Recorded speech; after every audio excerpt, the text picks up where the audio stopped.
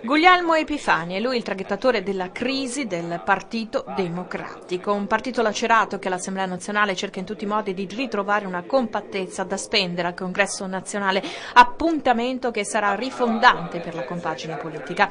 Deborah Serracchiani, presidente della regione Friuli Venezia Giulia, è una delle anime vincenti del PD. Io speriamo che me la cavo, no? io credo, credo che sarà opportuno, io almeno auspico che sia così, che non ci siano rotture che non ci siano accordi che non possono essere facilmente spiegati, ma che ci sia semplicemente la consapevolezza di un partito che ha bisogno di rifondarsi e quindi una reggenza che ci permetta di avere già eh, un impegno per una data certa di pre- preparazione di un congresso che porti appunto ad un cambio della classe dirigente. Un commento a caldo rilasciato dal Presidente all'inaugurazione della Galleria di Chiusaforte, un'occasione per evidenziare che anche nel campo delle infrastrutture bisogna essere realisti. Vanno fatte quelle che realmente si possono realizzare, i sogni sono deleteri. Oggi parlavo anche di una eh, capacità che deve ritrovare la Regione Friuli Giulia di dialogare e collaborare con ANAS, eh, sono convinta che possiamo fare fare ancora bene alcuni investimenti. La terza corsia della 4 in primis, ma anche la messa in sicurezza della Valcellina, le priorità del Friuli Venezia Giulia.